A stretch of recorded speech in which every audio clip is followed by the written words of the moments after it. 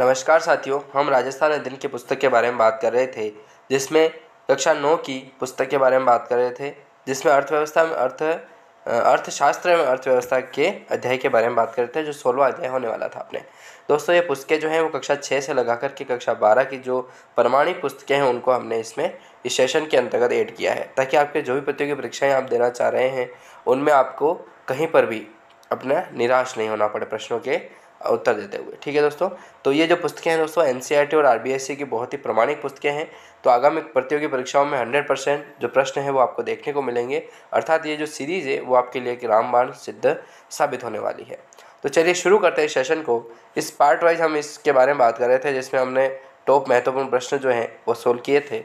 तो चलिए, अठारह प्रश्न से हमको पढ़ना बाकी था तो यहाँ से आप देखिए।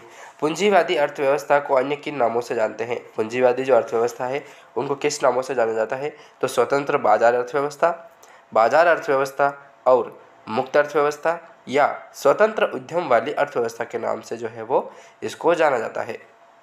फिर बात करें उन्नीस सौ महत्वपूर्ण प्रश्न के बारे में तो प्रश्न आता है कि पूंजीवादी अर्थव्यवस्था कब अपने अस्तित्व में आती है? पूंजीवादी जो अर्थव्यवस्था है, वो अपने रियल अस्तित्व में कब आती है? तो ये आती है 1660 से लगा करके 1820 के अंतर्गत आती है। तब, यदि आप याद रखना चाहो तो तब अपनी औद्योगिक क्रांति का जो है, वो समय चल रहा था। औद्योगिक क्रांति जो हो रही थी ना, वो इसी काल में हो रही थी। सत्रह साठ से लगा करके अठारह बीस में जो है, इसका प्रभाव देखने को मिल रहा था। तो पूंजी, पूंजीवादी जो अर्थव्यवस्था है, वो अपने अस्तित्व में कब आती है? सत्रह साठ से लगा करके अठारह बीस के समय। फिर प्रश्न आता है, बीसवा की ऐसी आर्थिक प्रणाली जिसमें उत्पत्ति के सभी साधनों पर सरकार का स्वामित्व व नियंत्रण होता है, उसे समाजवादी अर्थव्यवस्था के नाम से जाना जाता है। ठीक है? ऐसी आर्थिक प्रणाली जिसमें उत्पत्ति के सभी साधनों पर सरकार का स्वामित्व और नियंत्रण, ठीक है? स्वामित्व भी होना चाहिए और नियंत्रण भी होना चाहिए। तो वो क्या कहलाता है? समाजवादी अर्थव्यवस्था, ठीक है? अब इसी नाम के आधार पर उन्होंने एक समाजवादी पार्टी का गठन किया है, लेकिन वो इन नियमों का पालन नहीं करती ना स्वामित्व और नियंत्रण, इन दोनों पे काम नहीं करती है। पार्टी चाहे कोई भी हो, चाहे बीजेपी हो, कांग्रेस हो या किसी भी प्रकार की पार्टी हो स्पष्ट अपन तरीके से कह सकते हैं कि देश हितेशी के नाम से वो काम नहीं करती है। क्योंकि इनकी एक आइडियोलॉजी होती है, इनको अपने प्रचार प्रसार में पैसे खर्च करने होते हैं, ठीक है? इसका जो वीडियो है ना प्रचार प्रसार में किस तरीके से, वो इलेक्ट्रोल बॉन्ड के बारे में तो प्रदीप सर के द्वारा जो है वो अच्छे तरीके से समझाया गया है, उसका लिंक आपको डिस्क्रिप्शन में दे दूँगा मैं, यदि आप वो पढ़ना चाहें तो काफ़ी इंपॉर्टेंट आपके लिए हो जाएगा दोस्तों, ठीक है? चलिए, इक्कीसवा महत्वपूर्ण प्रश्न आता है, पूंजीवादी अर्थव्यवस्था में बाज़ार का राजा किसे कहते हैं? तो उपभोक्ता जो होता है, वो बाज़ार का राजा कहलाता है, ठीक है? उपभोक्ता।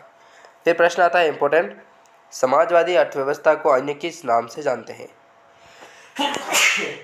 सॉरी दोस्तों। प्रश्न आता है बाईसवा, थोड़ी तबीयत आज बहुत नरम है तो क्लास लेना बहुत ज़रूरी है, कर्म प्रधान होता है दोस्तों। चलिए, बाईसवा प्रश्न आता है कि समाजवादी अर्थव्यवस्था को अन्य किस नाम से जाना जाता है? तो समान अर्थव्यवस्था या केंद्र नियोजित अर्थव्यवस्था के नाम से जो है इसे जाना जाता है। इसी क्रम में बात करें तेईसवें प्रश्न की तो समाजवादी अर्थव्यवस्था की शुरुआत कहाँ पर हुई थी? तो रूस में होती है सत्रह सोलह में, ठीक है? तो इसका आंसर कौन सा होगा? रूस सोलह सौ सत्रह। फिर प्रश्न आता है चौबीसवा कि, आज भी किन देशों ने समाजवादी अर्थव्यवस्था प्रणाली को अपना रखा है? तो चीन और कोरिया जो है, उन्होंने अर्थव्यवस्था प्रणाली को अपना अपना रखा है दोस्तों।